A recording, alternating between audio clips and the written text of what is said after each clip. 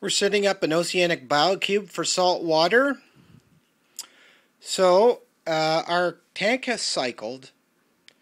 We've added a few cleanup crew, a little, a few, a turbo snail, and several hermits.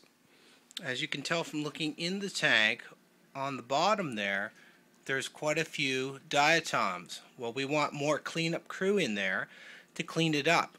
And if you also notice, we've put in some corals. And the corals, how you put them in and get them from your fish store is a lot simpler than other organisms. What you do is you simply bring the corals up to the tank temperature. So you can actually float the corals in your bag for half an hour, 45 minutes, and then take them out and put them in your tank. That's how you acclimate most corals. You do not drip acclimate corals.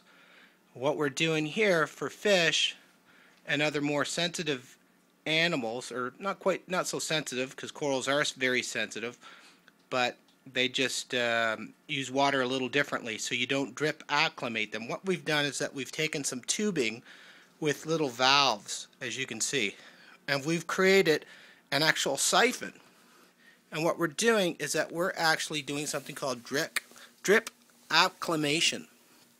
And as you can tell, I've adjusted the valves so it's just dripping slowly. So we've received our fish and the new water is dripping with the old water and is mixing with the old water. And so what's happening is that it's slowly getting the new organisms used to the new water. And you do this for 45 minutes to an hour. And you get rid of your old water, most of your old water first, and then you slowly dilute the old water in the new water. So what you're doing is you're adding the new water, you're draining the new and old water, and eventually you're just going to have really kind of newer water. And the, as you can see, there's a couple of peppermint shrimp in there they're getting used to the uh, the new water conditions. So we're going to add them to the tank. We're going to take a little cup and I'm going to scoop them in a little Tupperware cup. And I'm not trying to get too much of the old water, and but it's diluted old water because it has the water that's been taken with a siphon from our fish tank. As you can see, it's siphoning into the tank. As you can see, these are the type of valves you want to slowly control. You hold, use a little suction cup from a thermometer and just put it on the inside of your tank to keep your uh, water siphon inside the tank and see it's following down and slowly it's being dripped in with the new creatures.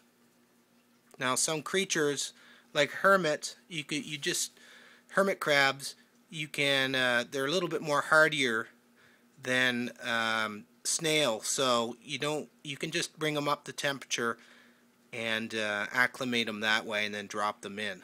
So some snails are very uh, finicky so it takes them a little water to get used a little while to get used to the water. And that's what drip acclimation is all about right here